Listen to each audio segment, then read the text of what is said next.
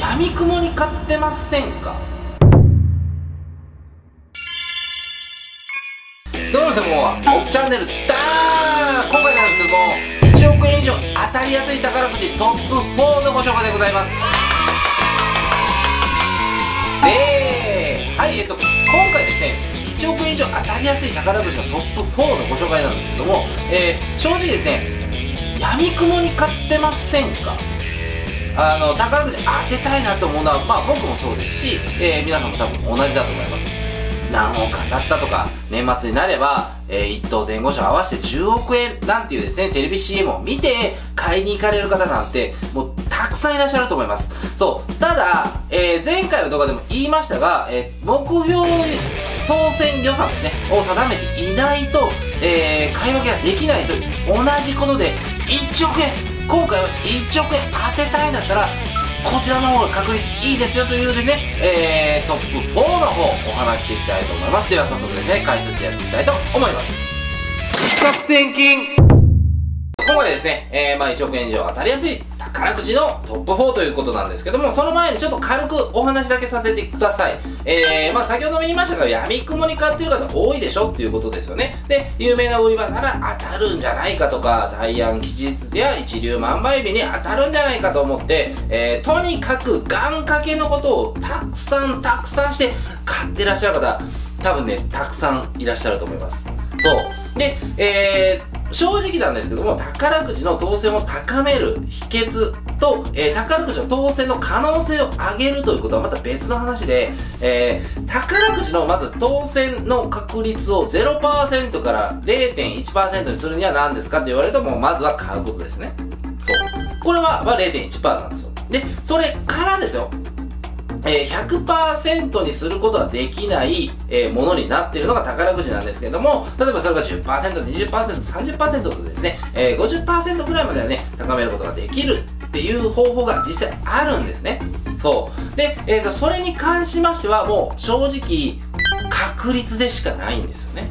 そう。で、えー、要は当選する可能性を高めないと意味がないので、えー、明確にですね、えー、当選予算を決めるんだって、え明確にですね、1億円を当選させたいと思うんであれば、今から紹介する、えー、1億円の当たりやすい宝くじを買わないと本当に意味がないと僕は思っております。そう。だから今回は、えー、1億円以上当たりやすいですね、宝くじのランキングトップ4をご紹介していきたいと思います。ではまず第4位ですね。ロト7。こちらになっております。えー、ロト7はですね、1等4億円の、えー、ものになっているんですけども、まあこれ結構皆さん知ってる方多いと思います。えー、ロトと聞けばロト6じゃねえのっていう風に思われると思うんですが、えー、ロト系の宝くじは、ロト6、ロト7、そしてミニロトがあります。はい。で、えー、こちらですね、まあ、あの、あくまでも1等の、えー、先ほどお伝えした4億円というのは、まあ、期待値ということで、えー、もちろん、日日々に変わります。えー、キャリーオーバーもあるし、えー、逆に当選者数が多ければ減ったりとか、するような形で、まあ、期待値という形で4億円になってるんですね。で、こちら当選確率としましては、えー、これすごいっすよ。1029万5472万分の1です。はい。で、えー、まあ、こちらの宝くじですね、ご紹介しておくと、1から37の数字の中から、えー、とにかく7つの数字を選ぶ。で、えー、自分で選んだ数字が、え当たれば当たりという風になっているタイプの宝くじでございますね。で、もう本当にね、運が良ければですよ、まあ、たまたま選んだ7つの数字が、ボンと当たって4億円当たったっていう話なんかも、えー、世間ではあったりするんですが、まあ、正直ですね、これ1等以外でも2等で、えー、730万円、で、3等で73万円などが当たる可能性もあるということで、えー、こちら1等300円で購入することができます。で、えー、毎週金曜日に、えー、結果発表しているので、毎週毎週可能性があるという意味では、まあ、えー、挑戦数かけるですね、えー、回数が間違いなくですね、えー、僕は当たる可能性高まることだと思っているので、えー、これはかなりいいと思います。はい。で、確率はもう何回も言いますけども、1029万5472万分の1で4億円当たるというですね、ロート7でございます。はい。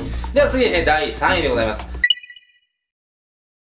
これね、結構意外だと思いますよ。えー、こちら、バレンタインジャンボ、年末ジャンボでございますね。で、えー、バレンタインジャンボは1等が1億円になっております。そして年末ジャンボは、えー、1等前後賞の方を狙った方がいいですね。えー、これ、1億5000万円ですね。で、まあ、言わずと知れた年末ジャンボが、まあ、第3位ランクインしたんだということなんですけども、えー、バレンタインジャンボは、聞いたことあるが、買ったことがないって方も結構いらっしゃると思います。で、これ面白いのが、えー、1月発売ですね。だから年明けて1月の1年の始まりで見ると、ビッグタイトルですね。もういわゆる G1 みたいなもんですよ。そう。宝くじの G1 で見たビッグタイトルの先陣、一番早い宝くじでございますね。で、両方ともですね、まあこちら当選確率としましては1000万分の1。だからつまり、えー、ロト7の1等よりは当たりやすいというふうになっているんですよね。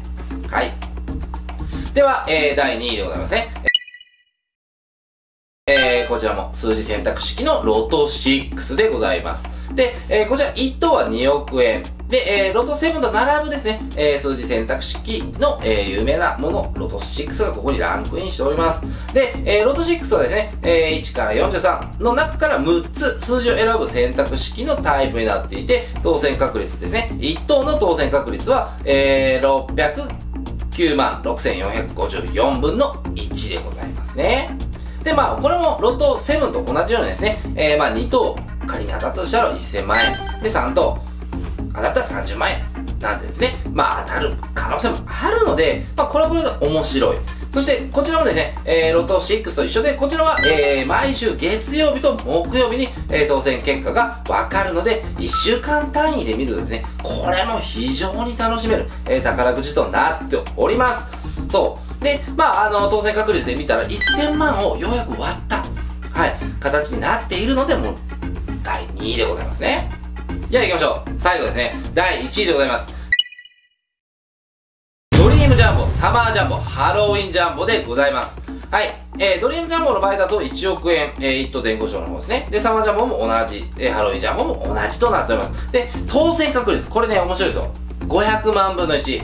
そう、皆さん、確率だけ見てくださいね。ロト6。で、年末ジャンボ、バレンタインジャンボよりも2倍当たりやすくなっているのがこの3つなんですよね。そう。で、えー、ドリームジャンボは6月発売。で、サマージャンボは7月発売。で、ハロウィンジャンボは9月から発売されております。で、この中で見ると多分ね、サマージャンボはテレビ CM とか結構やっているので、まあまあまあまあ、知ってるよと。ドリームジャンボも見たことあるけど、何月だったかなサマージャンボってなんかサマーとかな、まあ夏なんだ。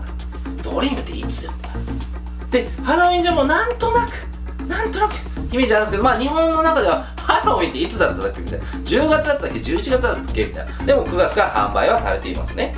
はい。で、えー、今回ですね、まあお話ししたこの、えー、トップ4なんですけども、えー、宝くじ当たらないと皆さんね、えー、思ってらっしゃる方多いと思います。還元率が悪いとか、あと確率が低いとか、と言いますが、えー、皆さん、競馬、競艇、競輪なんかも正直難しいですよ。難しい。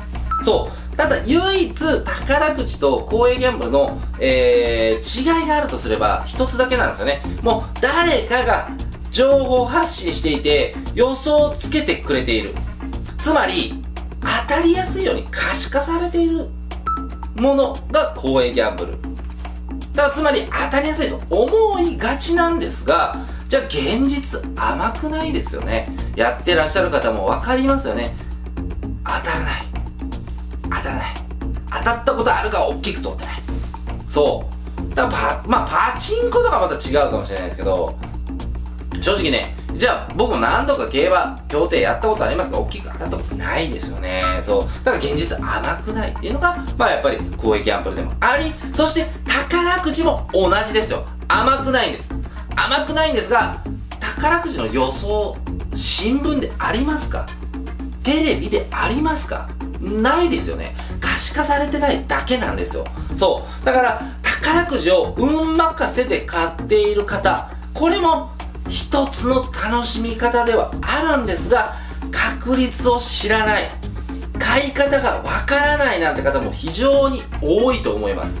私のチャンネルですね。えー、購入理論ですねそして攻略法の開発そして予想データさらに実践なども行っておりますだからですね、ぜひですね、宝くじも、いや、可能性あるなと。そして、癖になりにくいという意味で言えば、えー、公営ギャンブルよりは宝くじの方がソフトであると僕は思っております。はい、じゃあ、えー、今回ですね、まあ、あの1億円が当たりやすい宝くじのトップ4の、えー、ご紹介の動画だったんですけども、えー、基本的には、まあ、先ほどもお伝えしましたが、まあ、予想と、まあ、実践をメインにしているチャンネルでございます。そう、これで何かためになって、もしかしたら、あ、1億円当たりましたよとか、えー、いつも年末ジャンプしか買ってなかったんですけど違うのにしたら実は当たっちゃいましたよみたいな感じのね方々が出てくる可能性もあるなと僕は思っておりますので、えー、簡単に当たらないですよ簡単に当たらないんですがだったら当たりやすい方に行こうと買おうとする行動で変えるだけで当選が訪れることもありますはい。では、えーと、今回ですね、えー、こういったご紹介だったんですが、私のチャンネルいいなと思います。ぜひ、グッドボタンお願いします。そして、えー、お前の解説面白いと。そして当選させてくれる可能性もある実践をやっているなと、えー、攻略法の開発も面白そうだなと思ってちょっと応援してあげよう。と思う方ぜひいらっしゃいます。グッドボタンお願いします。はい。では、えー、今回は、えー、1億円が当たりやすい宝くじのトップ4のご紹介でございました。ではご視聴いただきましてありがとうございました。